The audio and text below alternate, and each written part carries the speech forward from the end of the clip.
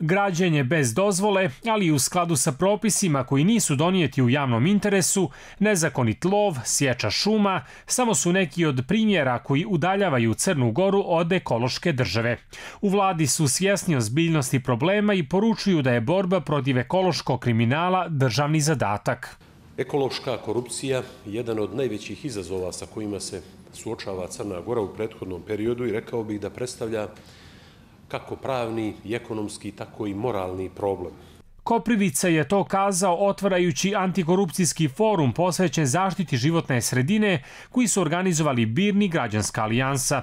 Ističe da je kombinacija političke i sistemske korupcije dovela do toga da se propisi pišu kako odgovara pojedincima. Donosioci odluka su vrlo često bili finansirani od brojnih struktura moći koje, i koji su za uzvrat svojim finansijerima omogućavali po znacima navoda legalizaciju korupcije na način da donose propise koji će biti u njihovu korist, a ne usmjereni na zaštitu javnog interesa. Ojačat ćemo kapacitete i inspekcijskih službi, pružit ćemo punu, a ne deklarativnu podršku specijalnom državnom tužilaštvu i procesuirat ćemo sve one oblike korupcije za koje imamo dokaze.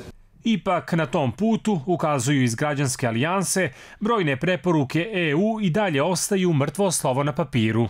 Najvažnije je da unaprijedimo istrage, krivično gonjenje i da dođemo do pravosnažnih presuda u oblasti korupcije i posebno u onim postupcima borbe protiv korupcije na visokom nivou. O moratorijumu na gradnju sjutra će raspravljati odbornici na Žabljaku. Iz Ministarstva prostornog planiranja kažu da imaju tek 30 inspektora zaduženih za nelegalnu gradnju, pa reaguju jedino na dojave. Važeća prostorno-planska dokumentacija predviđa smještajne kapacitete za 60.000 ljudi. Žabljak ima infrastrukturu kapacitete pitke vode za 15.000. Ima kolektor otpadnih voda koji može danas da obslužuje 1.000 ljudi. Ja govorim o lošim planskim rešenjima koja predviđaju bez ikakve namjere da uvrijedim bilo koga da u centru Žabljaka se desi svojevrsna budvanizacija ili zlatiborizacija. Smatrate sad da napravite moratorium, da ćete tim zaustaviti ovaj nelegalnu gradnju, sigurno da nećete. To će izazvati još veći haos u prostoru.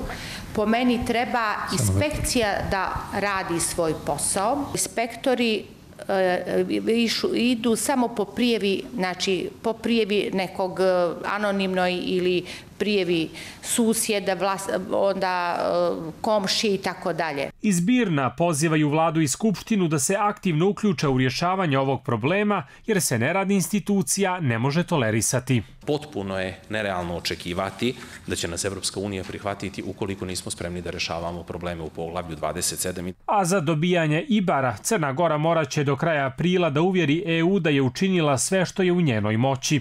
U oblasti ekologije, zaključuju panelisti, ostalo je još dosta posla.